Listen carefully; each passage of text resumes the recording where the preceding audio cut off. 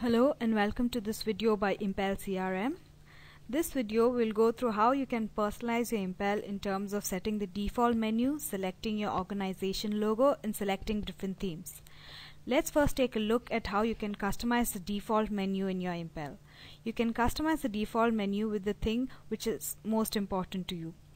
The other menu options will be available in the drop down at the end of the main menu tab. To to change the default menu and set it according to your requirement, click on My Profile which you will find on the top right hand corner of your page. Click on Update Default Menu and you will see a pop-up up here.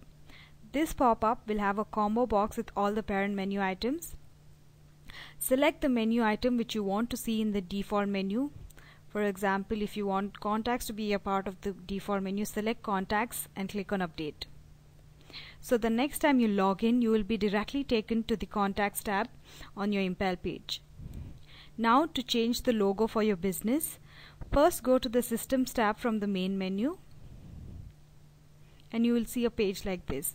Select logo from the list of configurations available and you will be directed to a page which will look something like this. To upload your organization's logo, browse for the required image and click on upload.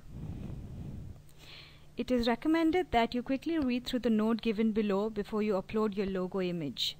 Now once your page is refreshed, your logo image will be found at the top left hand corner of your Impel page.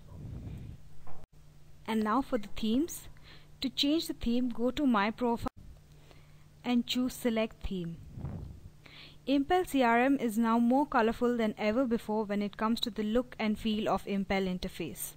Choose your style for your CRM with Impel themes. Themes are a great way of customizing the look and feel of the application.